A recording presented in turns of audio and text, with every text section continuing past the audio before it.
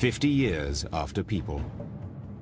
Dinosaur skeletons remain standing as relics of a time long before humans walked the earth.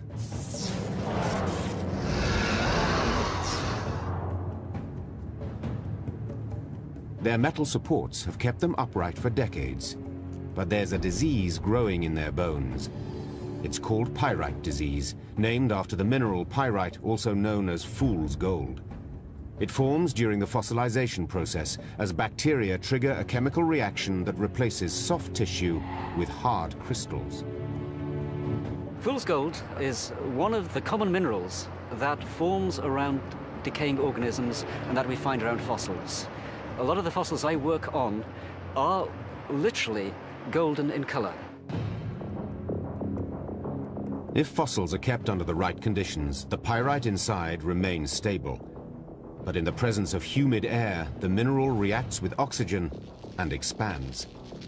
These growing crystals crack the bones from within.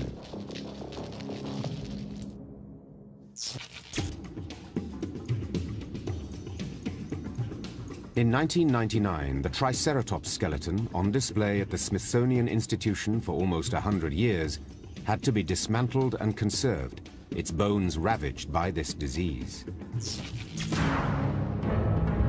Only half a century after people in the world's great natural history museums, the reign of the dinosaurs is coming to an end.